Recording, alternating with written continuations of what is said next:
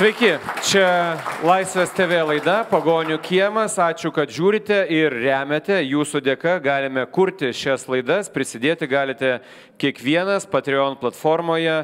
Adresą matote ekrano apačioje. E, norėdami nepraleisti mūsų naujausių laidų, spauskite subscribe, tai jums nieko nekainuos, apie naujausias laidas sužinosite akimirksniu. Taigi, gegužė Lietuvoje vyks referendumas dėl Lietuvos pilietybės išsaugojimo įgyjant kitos vakarų valstybės pilietybę. Lietuvos ir kitos šalies pilietybė tuo pat metu. Ar tikrai to reikia? Ar tikrai mes visi pasisakome už dvigubą pilietybę? Kaip atlikti pareigą valstybei turint dvigubą pilietybę, kuriai teikiama pirmenybė? Dviejų kartų balsavimas referendume - tai būtina, būtina ar perteklinė priemonė. Apie tai ir diskutuosime šiandieną pagonių kieme ir mūsų laidoje dalyvauja Lietuvos tautininkų ir Respublikonų sąjungos pirmininkas Sakalas Gorodeckis. Mykolo Riomerio universiteto profesorius, buvęs Konstitucinio teismo teisėjas Vytautas Sinkevičius. Tevinės sąjungos Lietuvos krikščionių demokratų e, narys, taip pat Seimo narys, atsto, vienintelis atstovaujantis e, užsienyje gyvenančius lietuvius, nes yra išrinktas naujamešio rinkimų apygardoje Žygimantas Paviljonis. Ir menininkė, grafikė Lietuvos ir Argentinos pilietė Elvira Kriaučiūnaitė. Sveiki, gyvi.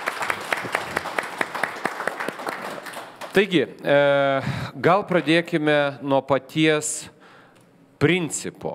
Pone Gorodecki, pilietybės išsaugojimas įgyjant kitą pilietybę, kitos vakarų valstybės pilietybę. Jūsų nuomonė, teisingas ar žalingas principas? Tai principas labai paprastas. Mes turim galiojančią Lietuvos Respublikos konstituciją. Vienas iš autorių sėdi iš kairės man. O tikslas, ko gero, labai paprastas, ta konstitucija yra mūsų visų įstatymų ir valstybės pamatas ir tikriausiai nėra didelio reikalo ir poreikio ją keisti, jeigu nežinom, kas bus toliau. Tai 12 e, ir 13 straipsniai, kurie prašo pilietybės institutą kaip tokį papuola į pirmą skirsnį, kuriam reikalingas referendumas, apie ką mes šiandien ir diskutuojam. Tai dėja tos piliečius, kurie prieš prieš e, yra daugybinės pilietybės įgyjimą, nesakytume dvigubos, bet daugybinės, e, sukeliam sumaišti tai, kad e, Lietuvos piliečiai, tie, kurie gyvena Lietuvoje, jie atsiranda antrarūšiai ir situacija yra labai paprasta. Jeigu mes norim valstybę kurti čia Lietuvoje, būtent su tais piliečiais, kurie gyvena čia, tai kiekviena valstybė savo institutus stiprina, o ne juos skaido ir naikina. Tie, kas gyvena Lietuvoje, pasijustų antrarūšiai, nes turėtų tik vieną pilietybę. Vienas iš jūsų argumentų. Kitas argumentas, kad jei nesame tikri dėl pasiekmių, Taip E, kaip sakė Edmundas Berkas, jei gali nekeisti, tai kam keisti? Tai jūs sakote, tai, ar ne? Mes, mes galim, galim rytoj turėti šimtą tūkstančių Lenkijos piliečių ir tu Lietuvoje, nieks nežino, kas bus toliau. Aha, tokie argumentai. Pone Paviljonė, jūsgi esate vienas e, aktyviausių e, iniciatorių e, šių konstitucijos pataisų. E, Kokius esminius principus gintų pakeista konstitucija, jūsų nuomonė? Na, e, gintų tą vadinamąjį transatlantinį kriterijų, kurį mes įtvirtinom įvairiais balsavimais tiek dėl žemės ūkio, žemės pardavimo, tiek dėl mūsų integracijos į ES ir NATO, e, nes tuose e, vakarų teritorijose gyvena na, didžioji dalis mūsų piliečių, beveik milijonas.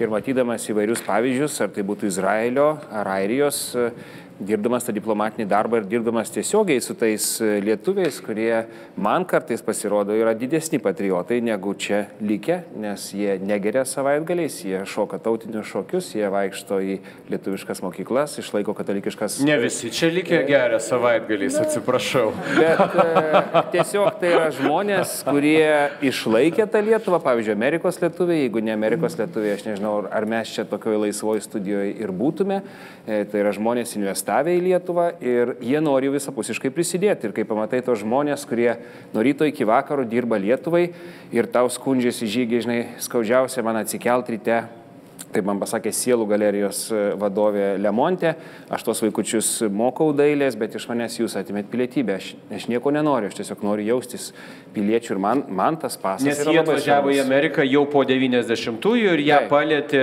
pilietybės įstatymas, kuris išplaukė iš konstitucijos. Ir tokių yra dauguma, nes dipukų karta, na dar po kokių dešimt metų galutinai pasitrauks. Jau dabar Amerikos e, lietuvių bendruomeniai vadovauja mano karto žmonės, jie perėmė visas tas bažnyčias ir mokyklėlės, jie bando veikti panašiai kaip dipukų karta, bando kongrese mūsų e, interesus atstovauti, bando mus gelbėti, padėti, investuoti, bet e, mes iš jų tos pasus atiminėjame. Ir sakot, kad jeigu pilietybę e, atimtų valstybė įgyjus Amerikos pilietybę, tai jie to nedarytų. Na, gal dalis ir darytų, bet dalis labai įsiskaudina. E, e, atsiminkim, kad tik tai 5-7 procentai mūsų lietuvaičių lietuvius e, lietuviškai mokina. Tai toks pats skaičius beje balsuoja rinkimuose. Tai jeigu iš tėvų tu atimsi pilietybę, Tai aš nežinau, ar jisai vaikus gal iš tos nuoskaudos augins lietuviu, o aš norėčiau, kad tas skaičius būtų žymiai didesnis ir, ir mes tą tautą suvienytume.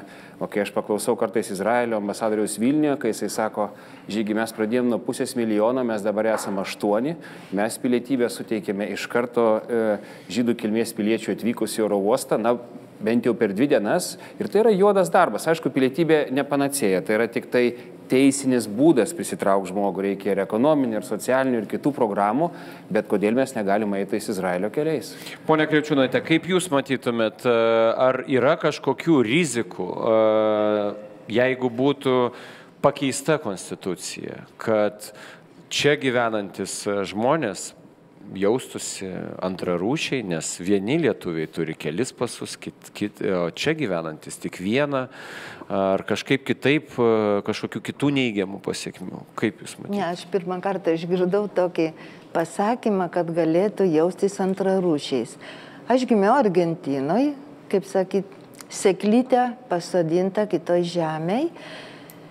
Ir mano tėvai buvo lietuviai, ten prigijau, 15 metų būdama tėvai grįžo į Lietuvą dėl visokių ten asmeninių priežasčių. Man tai, aš žinojau, kad aš turiu e, savo gimtinę Argentiną, kurią labai mylėjau, kalbą, papročius ir, ir tai buvo, nu, nuo Dievo duota. O tėvinė Lietuva buvo kraujo ryšys irgi įgyta per tėvus, per protėvius. Buvau dvikalbė, kadangi mokykloje su vaikais, su draugais, ispaniškai, kurią dar ir toliau laisvai valdau.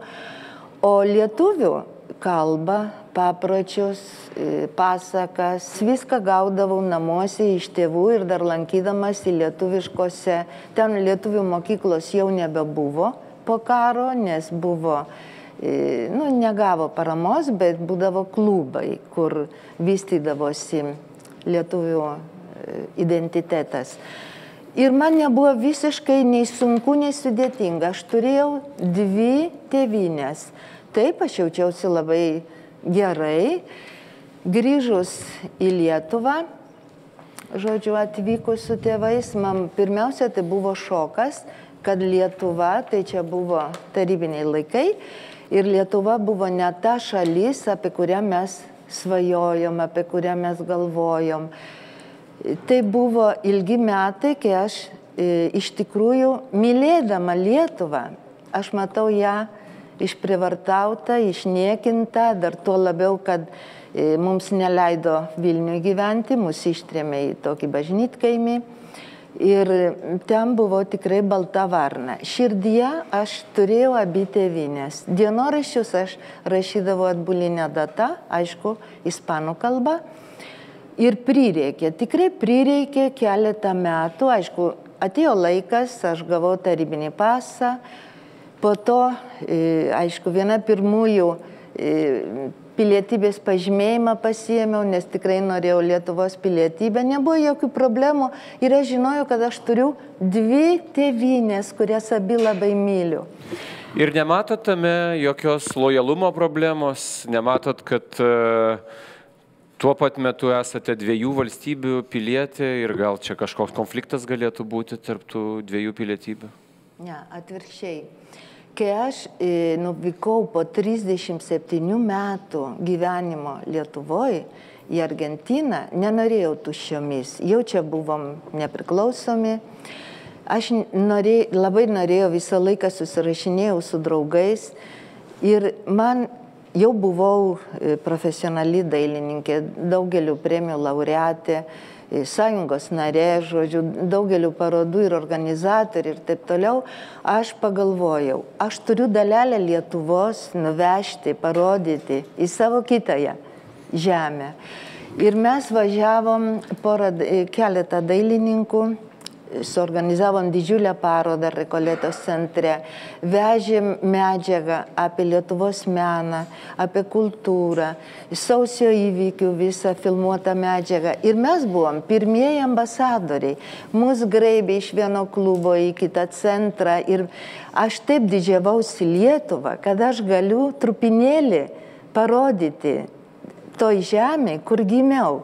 Meilė iš tikrųjų, žinokit, Sako, turi vieną vaiką myli, turi du jau mažiau myli. Ne. Šiuo atveju tai yra, tai priklauso galbūt nuo žmogaus, aš nežinau.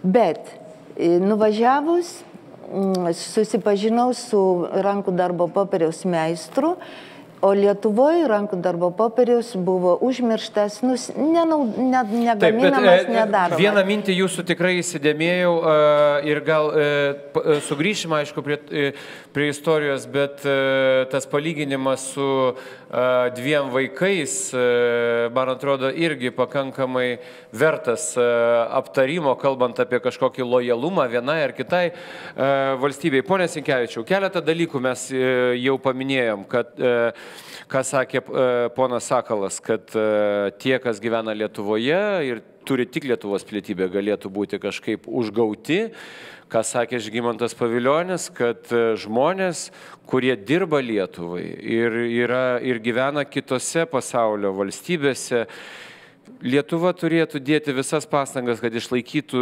ryšį su jais, nes kitaip jiems gali ir nusvirti rankos, jie gal nenorės prisidėti prie Lietuvos.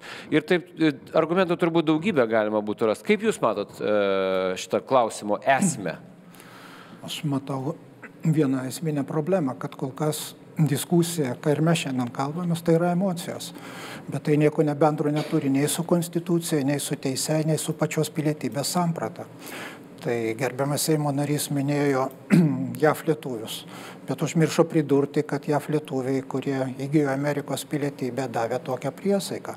Aš atsisakau visų ištikimybės ryšių, visų jolumo ryšių, bet kokiai kitai valstybei, taip pat ir Lietuvai. Jie duoda tą priesaiką, jie pasirašo ir jiems problemų dėl to nekyla pasirodo. Man tai jos kiltų, nes jeigu žmogus davęs priesaiką, kad jis atsisako, jis atsisako. Bet dabar pasižiūrėkime prisiekdamas Amerikai, tu nu, iškart nu. pasakai, nu, kad tu niekaip nesusijęs priesaiką su kitomis valstybėmis, ar ne? Man, man ir teko, tai yra problema, jūs sakote. Man, man teko dirbti ilgai Seime ir piliečio pažymėjimo pavyzdį renkti, kurį jūs tikriausiai gavote ir kurį aš irgi turiu. Tai aš galiu pasakyti, kad aš susitikau tada su iškiliais Lietuvos išeivijos veikėjais, kurie prašė Lietuvos pilietybės, to pažymėjimo ir rašydavo tokį sakinį prierašą, kad įgydamas Lietuvos pilietybę aš pareiškiu, kad jokių būdų neatsisakau Amerikos pilietybės, aš esu ištikimas Amerikai ir taip toliau. Amerika laiko jos tik Amerikos piliečiais, Lietuvos, kad jie yra piliečiai, jiems neturi jokios reikšmės. Bet štai dabar grįžkime prie teisės ir prie konstitucijos. Dabar siūloma pakeisti 12 straipsnį ir nustatyti, kad ES, NATO valstybių piliečiai, aš čia trumpinu, galės turėti kartu dvigubą pilietybę. Bet užmirštame, kad padarius tokią pataisą mes susidurėme ir turėsime daryti, man atrodo, dar bent trys konstitucijos pataisas. Apie tai Seimo nariai nekalba. Kokias pataisas? Pagal konstituciją dabar Seimo narių prezidentų gali būti renkamas tik tas asmo, kuris nesusijęs priesaika pasižadėjimu kitai valstybei. Vadinasi, jeigu asmo turi kitos valstybės pilietybę, jis negali būti renkamas Seimo nariu, negali būti renkamas Respublikos prezidentu. Jeigu dviguba pilietybė taps paplytusiu reiškiniu, o taip ir bus, tai yra Europos žmogaus teisus, teismo sprendimas. Moldova leido savo piliečiams turėti ir Rumunijos pilietybę, bet neleido jiems būti renkamiems į Moldovos parlamentą. Kylo byla, Moldova šitą bylą pralošė. Vadinasi, ir mes analogiškai tą bylą pralošėme. Galime turėti prezidentą, kuris turi priesaiką, e, kuris susijęs priesaiką su dviejomis valstybėmis. Pavyzdžiui. Antras ne? dalykas, antras dalykas. Ar mes galvojame apie tai, kas, kokie asmenys sudarys Lietuvos rinkėjų korpusą po 20-30 metų? Kas rinks Lietuvos Respublikos Seimo narius, prezidentą, kas rinks valdžią, kuri priims sprendimus, kurie lemia mūsų čia esančių Lietuvoje gyvenimą ir kurie, ir, ir kurie neturi nieko bendro, tam nedaro jokios įtakos tiems žmonėms, kurie gyvens užsienyje ir turės kitos valstybės pilietybę. Tai jeigu mes turėsime tokį rinkėjų korpusą, kuriame didžiąją dalį arba pusę rinkėjų ar panašiai sudarys asmenys turintys dvigubą pilietybę ir jie galės rinkti, dalyvauti, renkant mūsų Seimą, mūsų prezidentą. Seimas leis įstatymams mums, čia Lietuvoje gyvenančiams, o ne jiems. Tvarkoj. Apie tai niekas nekalba. Taip, du svarbus argumentai. Tai yra E, trečias argumentas. Taip, prašau. Gerai, Konstitucijoje parašyta, kiekvienas Lietuvos pilietis turi atlikti karo tarnybą įstatymo nustatytą tvarką, turi, tai, turi pareigą ginti savo tėvynę. Dabar pasižiūrėkime Europos konvenciją dėl pilietybės. Asmo, kuris yra kelių valstybių pilietis, atlieka karo tarnybą toje valstybėje, kurioje jis nuolat gyvena. Ir tas atlikimas reiškia, kad jis neturi pareigos atlikti karo tarnybos toje valstybėje, kurios pilietis jis yra. sako? Europos konvencija dėl pilietybės. Vadinasi, ką mes turime? Mes iš karto turime labai didelę grupę žmonių, kurie neatliks konstitucijų numatytos pareigos, nes jie atliks tą pareigą Junktinėse valstijose, Didžiojoje Britanijoje, Norvegijoje, ten, kur, kur norės. Kitaip tariant, aš prie ko noriu grįžti, aš nenoriu pasakyti, kad e, ar su už, ar prieš dvigubą pilietybę, bet aš pasigendu šitoj diskusijoj, va šito racionalaus Teisinių konceptualių, konceptualių sprendimų, Dėl... Gerai. matant visą kontekstą, o ne vien tik tai. Gal emocijas. pradėkime nuo galo. E, įsivaizduokime, žmogus turi Junktinių valstijų ar Kanados ir Lietuvos pilietybę. Lietuvoje vėl yra atnaujinamas e, visuotinis šaukimas į kariuomenę. Visuotinis. Ir tas žmogus tarsi turėtų vykti į Lietuvą atlikti privalomą karinę tarnybą. Europos konvencija dėl pilietybės sako, kad jeigu jis gyvena, pavyzdžiui, Ispanijoje ir turi Ispanijos ir Lietuvos pilietybę, jisai gali atlikti savo prievalę Ispanijoje, ne Lietuvoje. Kaip taip tada? Aš gal e, šiek tiek čia daug yra e, e, argumentų, kuriuos gali kaip stiklinė, taip sakant, iš vienos iš tos pusės pasakyti. Aš pradėsiu nuo patriotizmo, kurį jūs minėjot. Žinot, ne, vienoj, ne vienas susitikimas Amerikos lietuvių neprasideda be Lietuvos himno. Parodykit man, va šiame susitikime ir kitame, kur mes tuos susitikimus pradedam Lietuvos himnais. E, Mūsų mokyklose negėdami himnai buvo tokių ginčių, tai galbūt tai tautininkai jos daro. E, Aš, pavyzdžiui, didžiuojasi e, prezidento Damkom, kuris buvo Amerikos pilietis ir aš būčiau, ir aš šiaip netgi dirbau Lozaraičio rinkiminiai kompanijoje ir labai didžiuočiausi, kad tas žmogus būtų tapęs mūsų prezidentu. Aš labai norėčiau, kad tie žmonės, kurie šiuo metu išvažiavę, va čia mūsų auditorijoje stovi Lukas Radžiūnas iš Londono, kuris yra tautininkų mūsų Tevinės sąjungos atstovas, labai didžiuojuosi, kad tas žmogus pas mane grįžo iš Londono. Ir labai norėčiau, kad ta jauna karta, kuri išvažiavo, išvažiavo, išvažiuoja jauniausi žmonės nuo 20 iki 30 metų, grįžtų į mūsų politinį gyvenimą ir jį atnaujintų. Nes pas mus dėja e, politinė karta yra nuo 60 ten iki 70 ir iš esmės Gerai, labiausiai pa- dėl sovietizuota patriotizmo karta. viskas aišku, bet kaip sakė pro- profesorius Sinkevičius, tai yra emocijos. Vienas dalykas Na, yra žinot, rinkėjų emocijos- korpusas, antras dalykas yra privaloma karinė tarnyba. Emocijos, kultūra, religija, identitetas tai yra tai, kas mums at, atkūrė tą valstybę. Be emocijų to nebūna Žinoma. niekada. E, kai, e, kai aš paklausiau Izraelio generolo, kaip jūs čia laimėjot Golano aukštumose tos prieš šešias kariuomenės, žygis sako, tai ne mūsų ginklai, ne pinigai, tai mūsų širdis. Mūsų tėvai tokius iš, išmokė, piliečius mūsų širdis, kurios plakė iki tol įvairiose žemėse ir Izraelis surinko visas tas širdis į vieną vietą ir, ir tapo galingiausia valstybė. Ar mes norim tokiais tapti ar ne?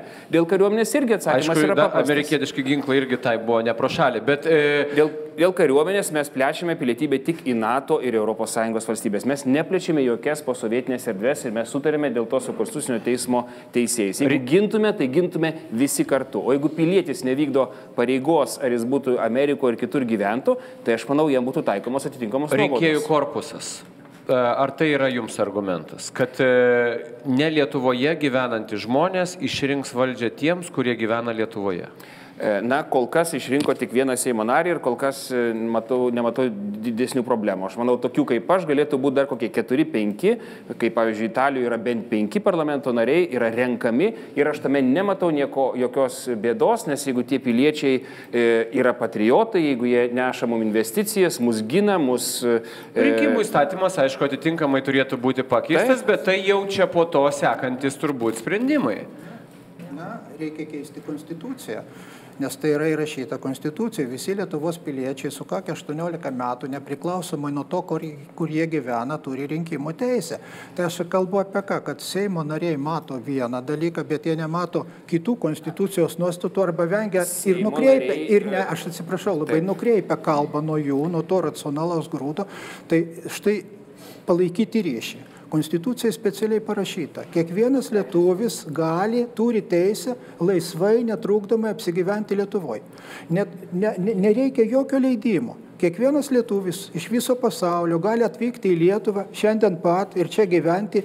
Ir jeigu jis neturės kitos valstybės pilietybės, o yra Lietuvos lietuvis pagal kilmę, lietuvis etninė prasme, jis be jokio vargo gauna Lietuvos pilietybę. Iš karto gauna. Seimo nariai tai... nesirūpina tik tai Seimo nariais ar keliom, keliom e, Seimo kėdėm. Seimo nariai rūpinasi milijonų mūsų žmonių, arba, pavyzdžiui, 300 tūkstančių dabar e, esančių jungtiniai karalystiai, kurie po breksito nebebus ES piliečiai. Ir jiems bus labai sunku pasirinkti. Aš labai norėčiau, kad didžiulė dalis tų žmonių grįžtų, išlaikytų tos ryšius, nes ir jie patys to nori. Jie patys be neaktyviausiai prašo manęs, kad tai būtų. Aš labai norėčiau, kad tas ryšys būtų išlaikytas. Taip, bet jie bus pabandykime ne, nenukrypti, pabandykime nenukrypti e, nuo temos, e, nuo tų keleto, keleto akcentų, kuriuos tikrai galime aptarti.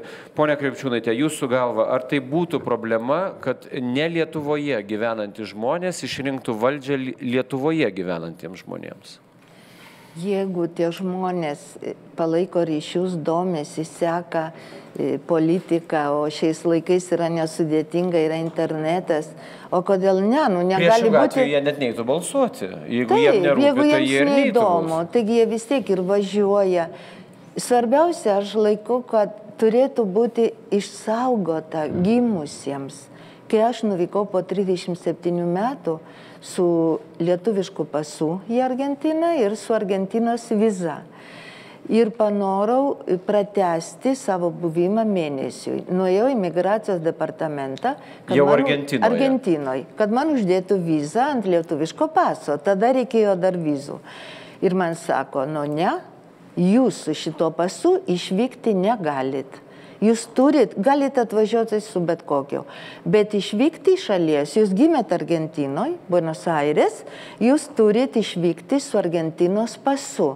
Aš sakau, bet aš 37 metus negyvenau, nei balsavau, nei nieko, aš buvau, kaip jūs ne, neturėjot, nusakau, Tarybų sąjungoje atėmė visus dokumentus. Paskui sakau, aš turiu Lietuvos pilietybę. Sako, atsiminat, kur jūs gyvenot? Gatvę, policijos departamentą, viską, aš sakau, net ir telefono numerį atsimenu. Tai sako, nueikit ir ten, ten gausit. Aš nuėjau su lietuvišku pasu, parodžiau, daugiau jokių dokumentų. Jie pasieškojo kartotekoj, rado mano korteles užpildytas, kai man buvo 9 metai, kai aš gavau pirmasias identifikacijos korteles Ir viskas, sako, po savaitę ateina. Mes savo gimusių piliečių, gimusių žmonių iki niekad neišbrauksim. Jūs galite. Iš jūsų pasatėme. O paskui po šiai praėjus dar 30 metų pernai nueinu prasitesti, tiesiog pakeisti nu, savo trečią pasą į pasų skyrių. Pasižiūri, sako, jūs gimėte Argentinoje? Aš sakau taip turit pasą Argentinos? Sakau, turiu, bet jis seniai preterminuotas, nes Argentinoje kas penkis metus išduoda. O aš jau buvau 11 metų nenuvykus. Sako, viskas, jūs negausit, atėmė tuos pasus. Taip, bet čia jau aišku. Viską. E, e, Bet tai įdomu, Taip, dabartinio, dabartinio reguliavimo klausimas. Pabandykim pakalbėti apie galimus konstitucijos pakeitimus. Pone Grodėski, pirmas dalykas. E, profesorius Sinkevičius sako, kad rinkėjų korpusas gali pasikeisti ir vienas iš esminių klausimų pagalvoti apie tai, kas Lietuvoje gyvenantiems žmonėms po 20-30 metų uh, išrinks valdžią. Hipotetiškai gali būti, kad Britanijoje, Ispanijoje ir Amerikoje gyvenantis Lietuvos piliečiai išrinktų čia. Bet aišku, tas turbūt mažai tikėtina, žinant tą aktyvumą, bet vis dėlto. Bet vis dėlto, ar tokią, ar tokią riziką jūs išvelgiat? Tai čia aš manau pagrindinis yra diskursas iš vis, kokią mes Lietuvą norim turėti. Ar mes norim kurti valstybę būdami Lietuvoje, ar mes laikomės globalios Lietuvos politikos, kur mastom, kad didžioji dalis tautos gyvens už Lietuvos ribų, turės daugybinę pilietybę ir priims kažkokius sprendimus. Tai e, žygį aš norėčiau pailustruoti, jis iliustruoja Izraelio pavyzdžiais visą kitą, bet ten yra pamiršta pasakyti, kad yra labai aiškus cenzas, kad balsuoja tie, kurie atvažiuoja į šalį. Ta pati Airija turi pusės metų cenzo reikalavimą, yra tauta, kurios du trešdaliai gyvena ne šalyje, bet jie teisų neduoda tiems balsuoti, kurie nėra susiję su šalim. Ir manau, šitoj vietoj pagrindinis diskursas, mes kalbam ir ką ponė gražiai pasakojo, tai apie tai, kad mes turim užtikrinti lietuviškos kilmės piliečiams, tautiečiams, e, griežtai atgauti Lietuvos pilietybę ir atstatyti. Tam yra jau du metai guli Seime įstatymo projektas apie lietuvio pasą. Pona Žygis, būdamas Seimo nariu, puikiai žino, kas trukdo tą įstatymą priimti. Ir visi tie piliečiai, kurie turi abejonės, kurią pilietybę pasirinkti dėl kažkokio ekonominių motyvų, nes dabar yra tiesiog jiems problema breksito, dar kažkas tai, e, tikrai jie išsaugo savo pilietybę ir grįžę į Lietuvą ją atstato, jeigu reikia, bet jie turi žinoma e, atsikratyti ir saitų su kita šalimi. Jūs sakot, kad lietuvio pasas spręstų šitą problemą formaliai. Tu netenki Lietuvos pilietybės, bet ją bet kada gyvenime gali atsistatyti. Ir ten tada reikia labai labai aiškiai pasakyti, tai jeigu piliečiai būdami trijų, keturių valstybių jie nori turėti ekonominę naudą iš patogumo, kad turi kelis kelionės dokumentus, tai apie tai ir kalbam. Tai dabar situacija kokia, jeigu lietuviškas pasas tikrai sprendžia visas žmogaus kelionės galimybės pasaulis, tikriausiai ir 30-ukė kur yra, gali nuvažiuoti visur. Tai nėra tragedija. Tikrai vienas geriausių pasų jo, pasaulyje. Jo. Tai dabar situacija labai paprasta. Mes turėjom Seimo narių, pavyzdys amžinatlisis daktaras Kazis Bobelis. Nu, jis atsisakė Amerikos pilietybės, gavo Lietuvos, apsirgo, grįžo į Ameriką, atsisakė Lietuvos pilietybės ir amerikiečiai jam atstatė pilietybę tvarkingai. Aš pats asmeniškai pasibuvau jo rančiui Floridai, sako, dėja aš turėjau atsisakyti Lietuvos pilietybės, kad man sugrįžtų socialinės garantijos, kurios jis ten turėjo, bet jis sako, kodėl mes negražinam prie to, kad tie žmonės, kurie prarado Lietuvos pilietybę, kai ta Lietuvos pilietybė okupacijos metu buvo kaip čia pasakius, išnaikinta.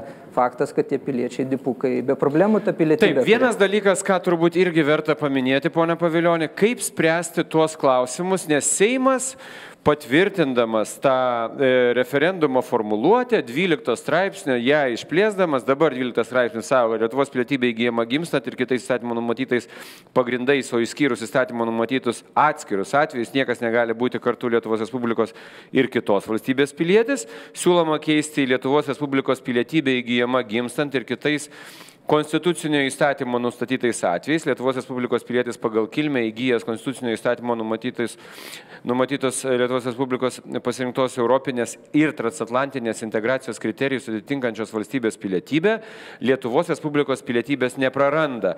Ir toliau kitais atvejais Lietuvos Respublikos pilietis negali būti kartu ir kitos valstybės pilietis, išskyrus konstitucinio įstatymo nustatytus atvejus, pilietybės įgyjimo ir netekimo tvarka, tvarka nustato konstitucinis įstatymas. Pakankamai aiškiai suformuoluotai, išskyrus tai, kad nežinia, koks yra konstitucinio įstatymo turinys.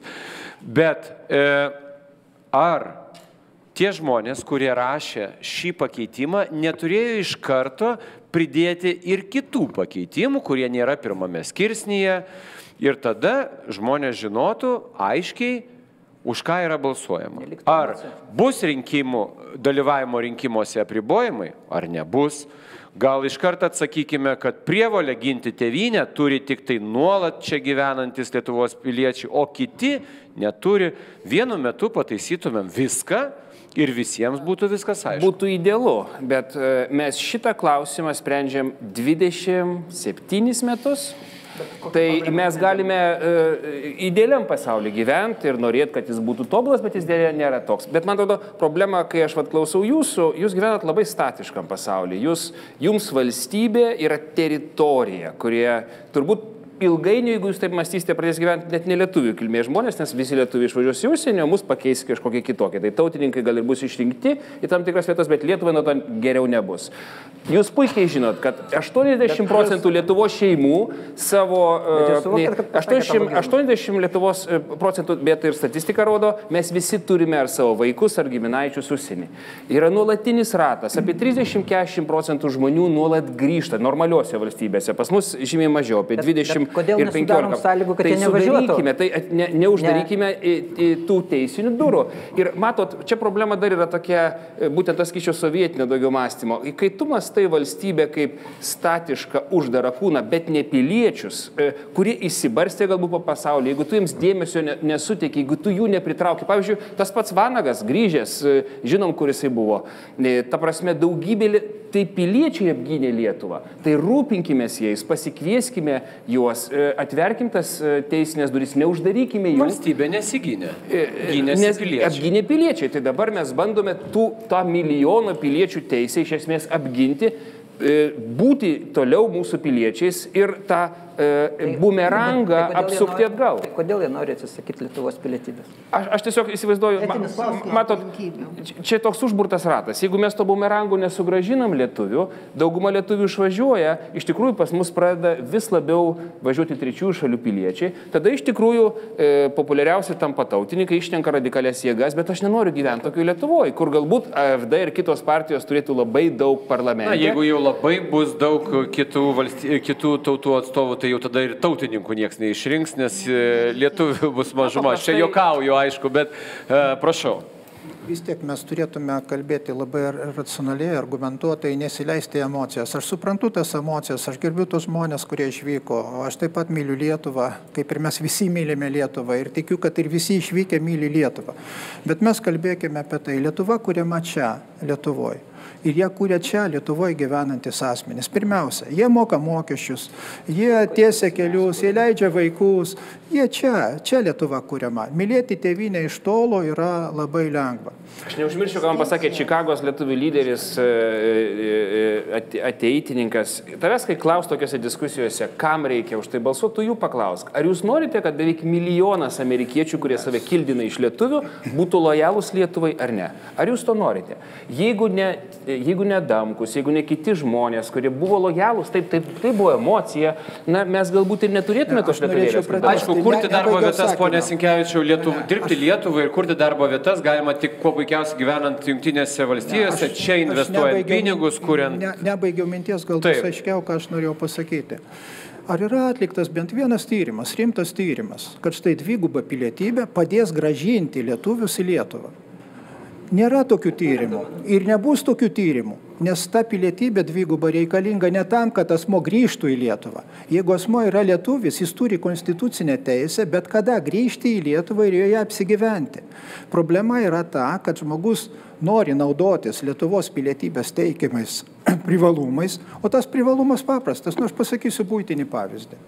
Žmogus išvykęs į ją, į Didžiąją Britaniją, pasidaro sudėtingą operaciją po operacijos reikia pusmečio ar metų gydymo, labai intensyvaus gydymo. Jis grįžta gydytis kur? Jis grįžta gydytis į Lietuvą. Jis čia išnaudoja 100 tūkstančių, 200 tūkstančių eurų mokėdamas 80 ar ten 100 eurų mokesčių, kaip mes visi mokam. Ir mes išlaikom daugybę tokių atvejų. Tai kai kalbame apie dvigubą pilietybę, mes turime matyti kompleksą problemų ir spręsti ją. Tai irgi yra problema, irgi, žinoma, bet, tai irgi, bet, ir tai bet, irgi yra argumentas. Bet, bet grįžkime prie kito dalyko. Kodėl mes grįžome dabar prie klausimo, kad reikia dvigubos pilietybės? Nu, pažiūrėkime Europą. Iš tiesų, Jeigu visus modelius mes suskirstytume, tai turime tą liberalų požiūrį, kai leidžiama labai plačiai, turime nusaikų, kai nu, ribojama, bet gana plačiai, ir turime radikalų. Tai štai tų radikalių valstybių tarpė Lietuva yra viena iš nedaugelių. Lietuva, Estija, matyt, Danija ir panašiai. Tai dvigubos pilietybės laukas jis plečiasi. Ir jis plėsis, nes yra migracija, yra didelė galimybė įsidarbinti kitose valstybėse. Mišrios santokos, vaikai gimsta su dviem pilietybėm iš karto ir panašiai. Bet kodėl, kodėl rengiant konstituciją buvo įtvirtinta pirmame skirsnėje šitą nuostatą? Kad dviguba pilietybė iš esmės yra netoleruojama, retos išimtis gali būti. Tik todėl, kad tauta pati apsisprendė tada. Taip, mes tik mes tauta referendumu šitą klausimą galime spręsti. Dabar mes patikėkim tą klausimą spręsti tautai, bet tautai aiškiai pasakykime, kas kyla iš dvigubos pilietybės, kokie yra privalumai, kokie yra neįgiami padariniai arba kaip reikės pertvarkyti konstituciją. Mes dabar kalbam, kad mes turim matyti, kad vaikai mokosi, mes turim jausmus. Aš su to sutinku. Gerai, bet ponė Sikevičiau, jeigu e, tie netitikimai konstitucijoje, kuriuos jūs dabar laidos pradžioje pasakėte, ką tikrai reikėtų keisti, jie jeigu būtų ištaisyti arba tuo pat metu, arba vėliau, jūs pasisakytumėt už galimybę išsaugoti Lietuvos pilietybę ar ne. Jeigu būtų išspręstas dėl balsavimo klausimas, jeigu būtų išspręstas, viskas aiškiai apibriešta. Pats principas jums priimtinas ar ne? Kai, kai stažavausi Junktinio Amerikos valstijų kongrese, tai man vienas kongresmenas pasakė, dalyką, kad Amerikoje neklausima trijų dalykų - už ką balsavai, koks tavo tikėjimas ir kiek uždirbi. Tai aš nesakysiu, kaip aš balsuosiu, bet aš noriu pasakyti, kad tauta nustatė šitą draudimą, tauta jį gali panaikinti. Ir mes turime, ir mes turime gerbti tautos valią, kuri bus išrinkta. Žinoma, mes tik dėl to ir diskutuojam, kad tik, artėja referendumas. Tik grįžkime prie to, kad referendumas irgi turi būti sažiningas. Jis turi būti sažiningas. Žiūrėkit, profesoriu, jūs man pats ne vienoje laidoje mes esame taip diskutavę, pats sakėte, kad tuo metu, kai mes nustatėm tą ypatingai ribotą pilietybės apibrėžimą, mes visi bijojom sovietinių tankų. Taip, mes žinom, kada jie išvažiavo. Taip, tuo metu iš tikrųjų ta apsauga buvo būtina. Dabar mūsų saugo kiek kitokie tankai. Vokiški tankai, amerikiečiai. Pasikeitė pasaulis profesorių per tuos 27 metus. Mes, jeigu ir toliau gyvensim su tokia uždara pilietybės e, formuluotė, mes prarasime gal jau net ne milijoną, dar po 10 metų iš to studijų susitikę, gal jau 2 milijonai bus užsienyje. Ir tada mes turėsime labai daug įtampų, kas išlaikys šitą valstybę, kas pakels visas socialinės, kas pensijas mokės, e, kaip mes dirbsime su tais kitataučiais ir kitakultūriais. Na tai sprendimas vis dėlto šiuo metu yra atsižvelg, beje, pagal Konstitucinio teismo sprendimą, jis pats pasiūlė šitą sprendimą, jūs galite teisėtai keisti Konstituciją referendumo būdu, atsiverdami būtent tom transatlantiniam šalim. Taip, bet E, Pone Paviljonė, vienas, e, e, vienas iš dalykų, ką pasakė profesorius Sinkevičius, kas irgi turbūt gali būti laikoma argumentu visiškai aiškiu, kad niekas neįrodė, kad pilietybės turėjimas kitam asmeniui ar kažkokia apklausa, ar dar kažkas susijėtų labiau su valstybė? Aš buvau ambasadorius penkis metus Vašingtone. Nebuvo nie vieno susitikimo, na, nie vieno, kur mane žmonės prašyte neprašytų žygį, mes darome. Žmonėms viską. jūs sakot, kad nerūpi pilietybės turėjimas dėl uh, žalio, raudono europiečio paso. Tai pirmiausia simbolis. Tai yra, yra. simbolis. Tai, kai kas sakė, man tai yra kaip Biblija. Vat Biblija ir pasas. Aš tikiu Lietuvą, man yra, aš taip sunkiai tą pasą atgavau, aš labai noriu išlaikyti. Bet, bet Tas pats senatorius. Ar, ar atėmė iš jų pilietybę? Netėmė. Iš daugybės atėmė ir, ne, ir kalb, jeigu kalba, e, žinoma, e, prievartiniai, pavadinkim tai, prievartiniai emigrantai e, iki 90-ųjų metų jie išlaiko tą pilietybę ir taip toliau. Tai Kalba yra apie naujuosius, bet apie pasą. Pone Krečiūnate, ar jums tai irgi yra tam tikras simbolis labiau nei galimybė keliauti kažkur su lietuvišku pasu? Apie lietuvišką pasą. Aš turiu dabar lietuvišką pasą, nes vis dėlto įvyko tai, kas turėjo įvykti.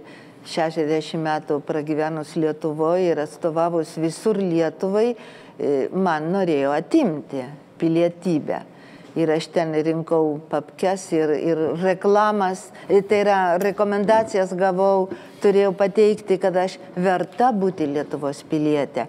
O gavau dėl to, Ne, dėl to, kad aš buvau lietuvių vaikas. Tai man galėjo tą padaryti, aišku, per 15 minučių, nebūtų reikėję laukti 9 mėnesius. Taip, bet vis dėlto, ar jums Bet tai yra man- labiau simbolis, kažkoks Ne, simbolinis ryšys? Aš esu Lietuvos pilietė, gyvenu Lietuvoje, Lietuvoj. myliu, viską darau dėl Lietuvos. Galbūt daugiau simbolis man yra Argentinos pasas. Gerai, galim ir iš tos Bet pusės pažiūrėti. Stengiuosi kiek galėdama, e, jeigu tik tai galiu, e,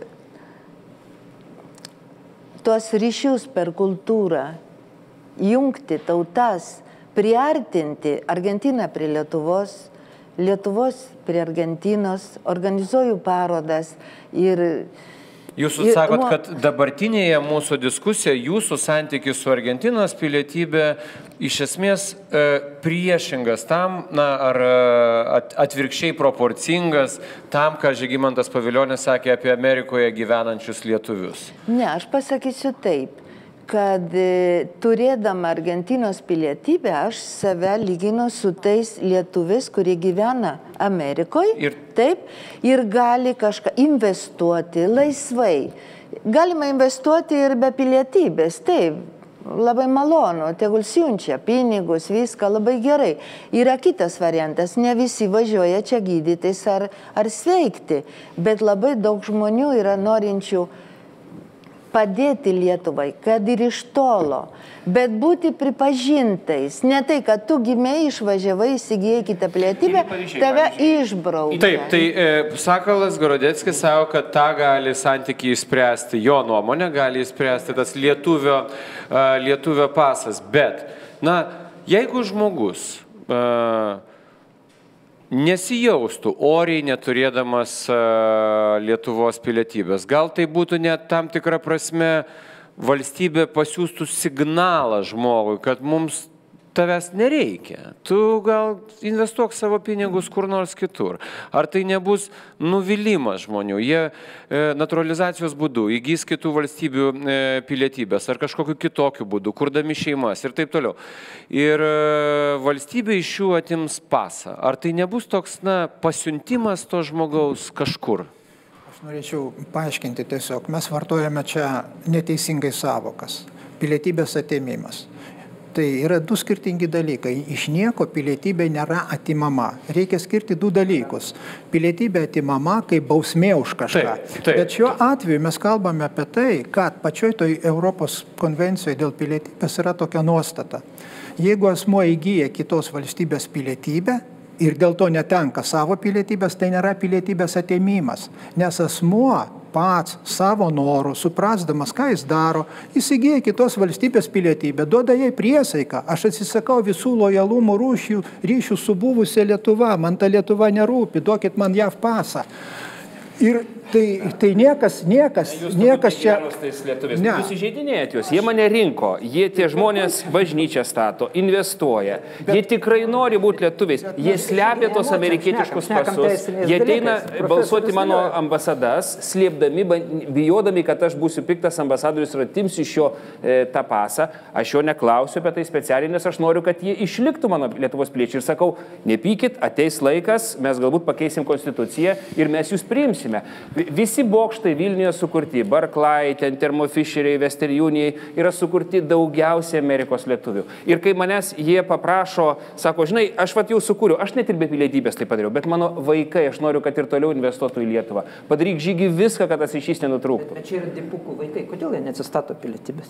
Ir dipukų, ir nedipukų. Daugybė. O Sustokit, dabar tai. Ameri... va, Jie nesusitvarko ir- dokumentų. ir Amerikos lietuvių bendruomenės pirmininkas tapo mūsų kartos verslininkas iš Omahos.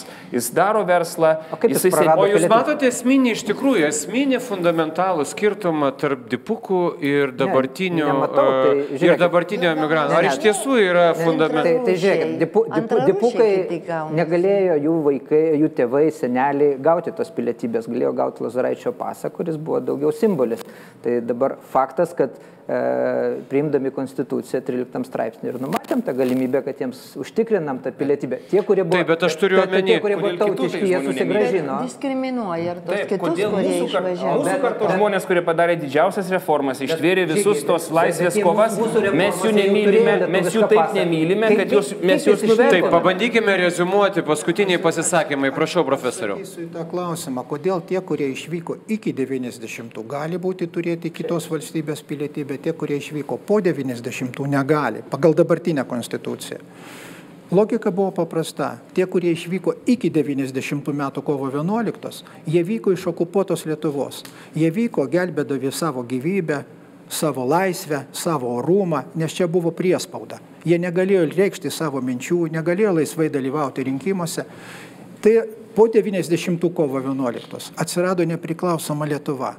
Ir išvykimas iš nepriklausomos Lietuvos tas asmenų kategorijas išskiria. Ir tą pasakė ne Vytautas Sinkevičius, tą pasakė Konstitucinis teismas. Ir tą nuomonę reikia gerbti. Bet ką aš noriu pasakyti? Mes turime gerbti tautos sprendimą, leisti tautai pasirinkti. Ir gerai, kad politikai neturi galimybę spręsti tų klausimų. Nes ateitų Aš galiu pasakyti dėl šitos netgi formuluotės. Tai kokia pirma formuluotė buvo? Pirma formuluotė iš vis buvo pasiūlyta, jūs prisimenate dar, visi Lietuvos Respublikos piliečiai gali būti kitų valstybių piliečiai. Tai ką mes turėtume? 2010 metai. Dabar ši, ši, rengiant šitą formuluotę, nu, nepaslaptys, man teko prisidėti ją rengiant. Ponas Žygimantas pa- patvirtins, kad taip ir buvo. Ir buvo priimta iš esmės ta formuluotė.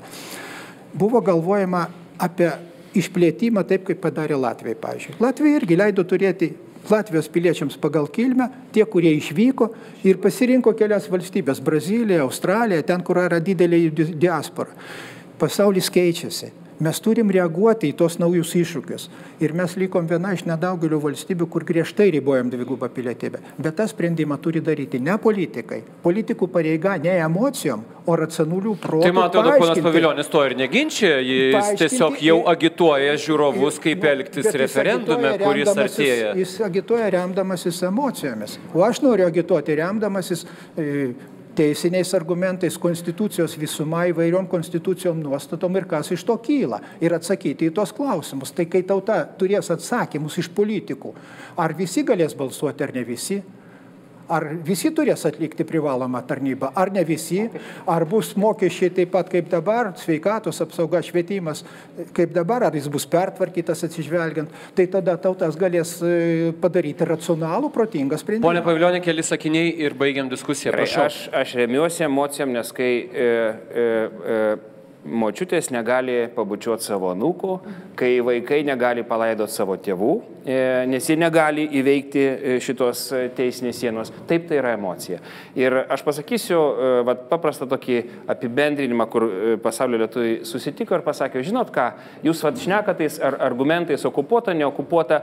Kai kurie žmonės man iki šiol sako, kad Lietuva yra okupuota įvairių oligarchinių grupių, okupuota yra nomenklatūros senos sovietinės, kuri nežiūri ir nepaiso tų piliečių interesų, kurie didina tą atskirį, kaip mes kaip Latino Amerikoje tampam, vat, vis labiau panašesni į šalis, kuriuos jūs gyvenat.